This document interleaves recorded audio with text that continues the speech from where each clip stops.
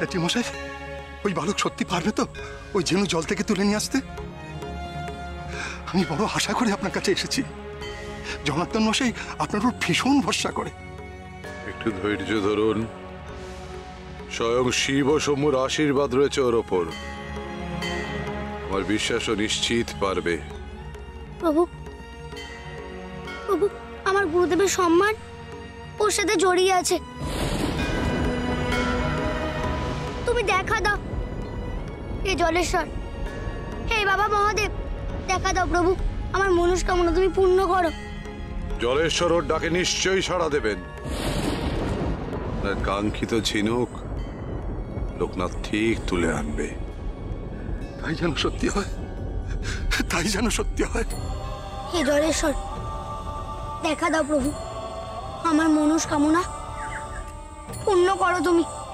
তোমার পাদমূলে থাকা বহু বর্ণ ঝিনুকের সন্ধান দাও।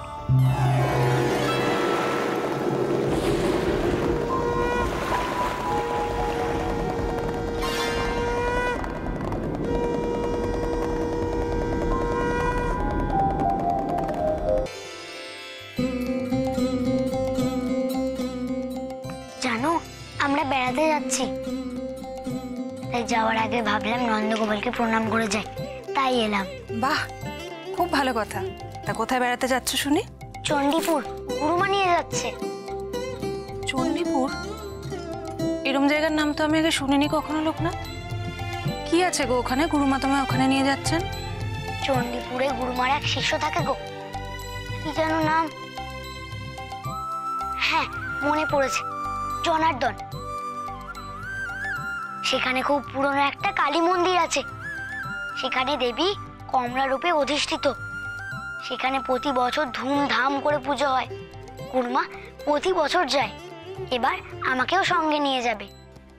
বাহ খুব ভালো কথা। যাক তোমার তাহলে কয়েকটা দিন বেড়ানো হবে। তবে ফিরে এসে কিন্তু আমার সব গল্প শোনাতে হবে।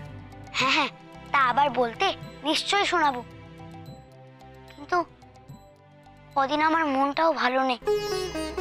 যখনই মা বাবা অন্য দিদিকে দেখছি ওরা লুকিয়ে লুকিয়ে চোখের জল ফেলছে।